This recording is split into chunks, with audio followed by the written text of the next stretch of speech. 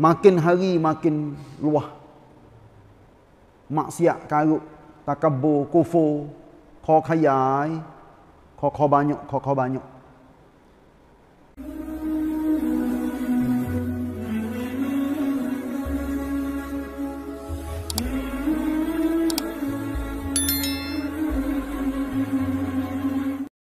أعوذ بالله من الشيطان الرجيم فقالوا ربنا باعد بين أسفارنا وظلموا أنفسهم فجعلناهم أحاديث ومزقناهم كل ممزق.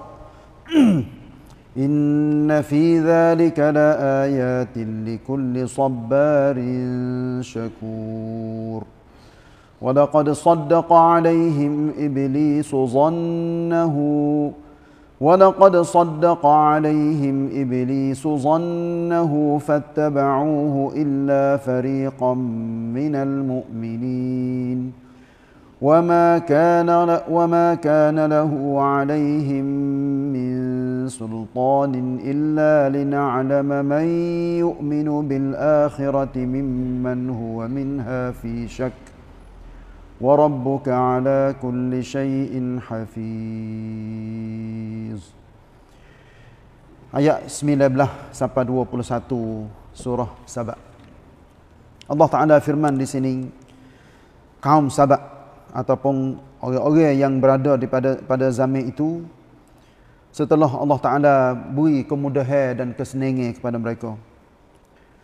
Mereka berkata maka kemakmur uh, Allah Ta'ala firman, maka kemakmuran dan kemudahan itu menjadi mereka sombong dan tak, dan kufur. Lalu berkata, pok-pok dia katakan, wahai Tuhan kami, jauhkanlah jarak perjalanan kami di antara sebuah bandar dengan yang lain. Dan mereka berlaku zalim kepada diri mereka sendiri. Maknanya, perkara-perkara yang mereka duk buat di negeri Sabak ataupun di Yaman pada zaman itu makin hari makin luah. Maksiat karut takabur kufur kau khayai kau kau banyak kau kau banyak. Zalim kepada diri sendiri. Maknanya dok kufur dengan Allah Taala dinamakan orang itu orang zalim kepada diri mereka sendiri Lalu kami jadikan kisah kedurhakaan mereka buah mulut orang ramai. Maknanya orang pakat kecek daripada run ke run. Daripada satu generasi ke satu generasi. Allah Ta'ala catat ataupun firman di dalam Quran pun jadi satu kisah yang boleh kita ngaji, kita tahu katanya satu masa dahulu ada satu golongan manusia yang Allah Taala bui kesenangan tapi akhir sekali Allah peracur pok-pok mereka dengan sebab apa? Sebab kufur tu. Sebab banyak maksiat yang berlaku yang mereka buat sendiri. Jadi buah mulut. Buah mulut ni istilah dia panggil. Nah, istilah dalam bahasa Melayu dalam uh, apa ni dia panggil buah mulut adalah benda yang dibawa dikecek daripada orang ke orang, orang ke orang, dia panggil buah mulut. Nah, Alhamdulillah. Dalam bahasa Arab, dia panggil ahadith. Ahadith maknanya percakapan lah. Kamput. Tibok to daripada orang tu, orang tu dan sebagainya. Serta kami pecah belahkan mereka berkecai-kecai. Jadi apa? Jadi hancur habis. Sama ada bala yang turun pada masa tu dan juga orang yang hidup pada masa itu tak boleh satu. Maksud yang dikehendaki di sini iaitu berkecai apa ni berkecai ni artinya hidup mereka setelah kufur Allah Taala waktu turun bala maka hancur habis puak-puak dia. Kullamu mazzaq wa mazzaqnahum kullamu mazzaq dan kami peracur mereka sehancur-hancurnya sehingga tidak ada keseh hak molek yang ada pada kaum sahabat pada waktu itu. Terutamanya ketika ampangan maknanya kean yang besar pada waktu tu namanya kean makrib. Pecah. Dengan sebab air terlalu banyak yang ada dalam kean maka pecah. Orang pun mati guling-guling ada kubur pun ada hak tak ada kubur pun ada ni tak ada air yang Allah Taala royak jadi bot rian kepada kita semua sebab itulah Allah tingtai ayat ni inna fi dzalika laayatin likulli sabarin syakur sesungguhnya kisah mereka yang tersebut mengandungi tanda-tanda yang besar pengajarannya. Penbot rian kepada orang belakang-belakang. Ingat molek. Dia maju, tak kebo, angin, megah. Lepas tu duk mengaku katanya, ah oh, kawan buat ni. Ni firma kawan ni. Terutamanya orang-orang jadi punam. Kecek, kadang-kadang kecek kasar dan kecek megah. Akhir sekali Allah Ta'ala tunjuk benda-benda yang sebagai balah hak dia duk kecek megah saat ni hancur habis jadi pengajaran kepada siapa tu? Bagi tiap-tiap seorang mukmin yang sentiasa bersikap sabar lagi sentiasa bersyukur. Alhamdulillah. Sebab tu orang yang bukan orang tak maknanya semua umat semua kaum dia Allah Taala wi kesenangan kemewahan jangan takabur. Kena syukur kepada Allah kena tawaduk kena beringat kena apa kena kena berhubung sama dengan Allah. Kena sebut sama alhamdulillah. Ni Allah Taala beri kurnia kepada kita. Nah bandar yang maju orang yang uh, apa? Segar maju cerdik bijak. Alhamdulillah. Kena sebut sama alhamdulillah alhamdulillah. Gitulah. Tak kira dah. Pemimpin tak ada mana sekalipun lagu tu lah. Apatah lagi rakyat.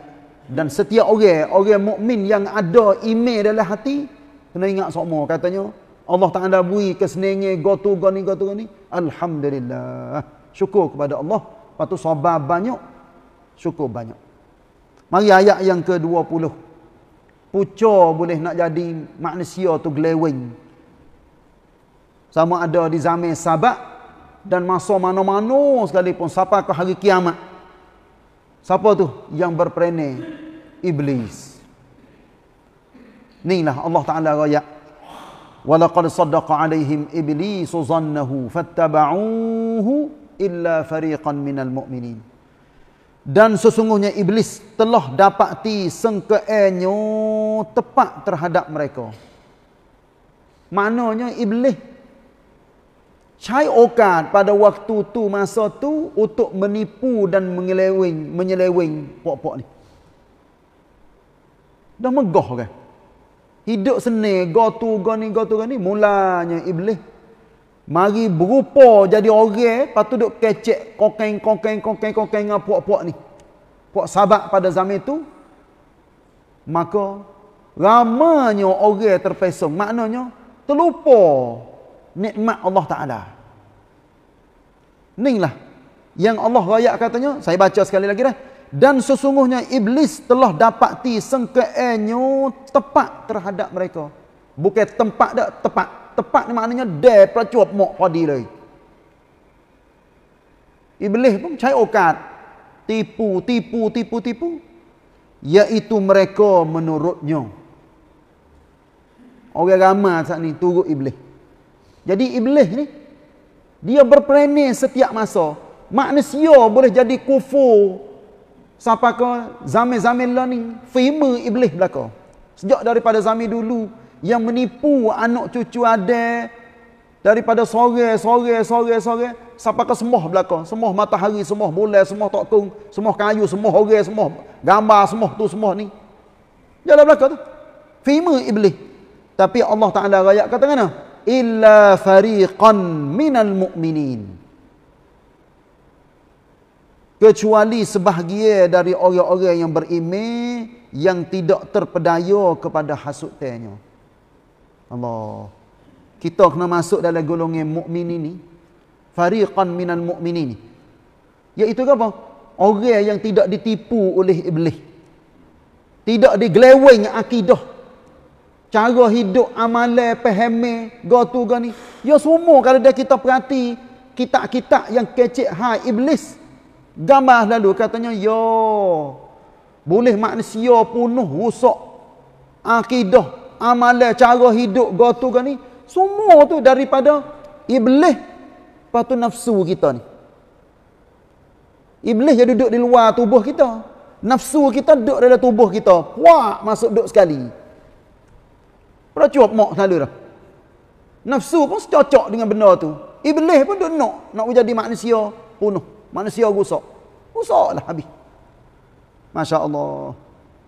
Tuhan berayat lagi. وَمَا كَانَ لَهُ عَلَيْهِمْ مِنْ سُلْطَانٍ إِلَّا لِنَعْلَمَ مَنْ يُؤْمِنُ بِالْآخِرَةِ مِمَّنْ هُوَ مِنْهَا فِي شَكْ Tuhan uji ni. Tuhan pun buat juga iblis. Tuhan pun takdir juga. Iblis pergi menipu manusia. Buat apa tu? Kalau kita tanya. Eh, Tuhan belakang jadi tok dalam. Dia buat iblis, dia buat jin, dia buat manusia. Dia takdir belakang. Iblis nak buat gapo kata? Terhadap manusia. Nak tipu gapo? Allah Ta'ala juga takdir manusia adanya yang berimeh. Dan banyaknya yang jadi kafir. Sebab apa tu? Ha, ni jawab apa dia? dan sememangnya tiadalah bagi iblis sebarang kuasa untuk menyesatkan mereka. Maknanya iblis dia tak boleh crop ngam semua wit wit manusia nak jadi gotu gani gotu gani tapi dia jadi puca. Puca mula-mula nak boleh orang tu jadi sesat. Iblis gitu tipu sikit ya. Wih. Kalau kecek mudah-mudah perik mata ya. Orang pun jadi dengan sendiri dengan sebab iblis perik mata saya bisa ya tu yang duk gambar katanya ha, iblis perik mata weh dak tak ada nak royak hak tu nak royak katanya sikit lah iblis siu piu jadi dah tak ada tipu banyak kali Masya Allah manusia ni dia panggil terikut-ikut terikut-ikut saya nak misal mudah-mudah dah ambil renang sikit kita bawa kereta bawa motor di Faideng. Saya nak misal mudah-mudah. Pada api duk merah lagi. Kita tengok orang tu baik. Orang gi. Ya fa Faideng. Bru. Kita berasa nak nak, nak gi tak? Kadang-kadang kita kita sendiri duk berasa nak turut juga demo demo gi padahal duk Faideng lagi. Ha tu nak ayat katanya terikut-ikut terturut-turut. Apa apa tah lagi? Kalaulah iblis dia dia nipu orang seorang ataupun beberapa orang orang tu jadi karuk jadi punuh dalam hidup dia kita pun hak pasal nafsu kita cemar-cemar pun berasa eh nak nak turut dia eh sedap eh ha duduk dalam Islam duduk dalam undang-undang Tuhan ni kena duduk apa kena duduk beringat hak tu tak boleh buat hak ni tak boleh jamu hak ni tak boleh tepuh hak ni tak boleh ambil tak boleh tak boleh berlaku jadi teraman berasa katanya diri kita ni dengan sebab apa? Sebab kena duk patai lari benda hak Tuhan lari. Tapi bagi orang hak turut nafsu, ha, ni kita kadang-kadang setengah-setengah berasa terikut-ikut nak turut-turut pok-pok dia. Tapi dengan sebab email yang Allah Taala masih lagi duk jaga dalam hidup kita, kita mari duk teran semua tak boleh buat ni. Tak boleh ni. Hak tu tak boleh, hak ni jangan. Ha tu jalan dah tu. Cik katanya insya Allah email yang ada pada diri kita masih lagi duk kuat boleh kontrol, boleh kuatkum diri kita. Kalaulah email tak rok, hmm, pakai gi belaka. Itulah yang iblis sendiri yang royak di hadapan Allah. Aku nak tipu anak cucu ada siapa hari kiamat. Nak tipu semua. Nak masuk neraka sekali dengan aku. Illa ibadaka minhumul mukhlasin. Kecuali hamba-hamba mung yang terpelihara. Maknanya tidak dapatkan kuap kum dole pen yang di. Hak ni iblis yang mengaku katanya dia tak boleh tipu. Terutamanya nabi-nabi, rasul-rasul, orang-orang soleh, orang berjuru, orang baik, orang yang faqih dalam agama, orang yang reti dan amal sungguh-sungguh dalam agama. Hak ni iblis dia mengaku katanya dia tak boleh tipu. Tapi tu pun dia duduk usaha nak tipu, nak tarik juga jadi manusia ni masuk dengan sekali dengan dia. Masa nak habis dah. InsyaAllah kita sambung esok. Ayat ni kita sambung nah, sebagai apa? Untuk tumpuk tambah di atas benda yang hurai saat ni insyaAllah akan menjadi hidayah dan faedah kepada kita semua insyaallah. Wallahu alam wa sallallahu ala nabiyyina Muhammad wa ala alihi wa sahbihi wasallam. Wassalamualaikum warahmatullahi wabarakatuh.